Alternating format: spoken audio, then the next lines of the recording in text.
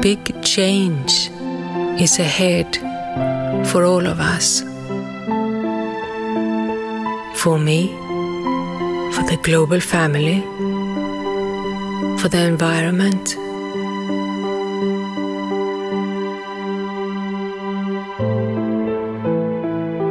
I can inspire hope and ease the change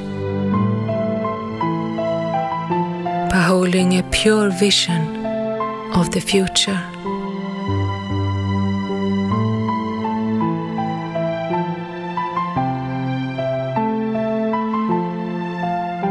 I see the earth in its golden form. A golden form of abundance and harmony.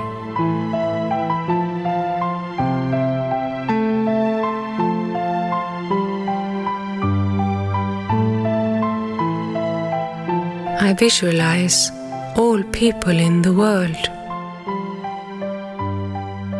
keeping a positive vision of the future.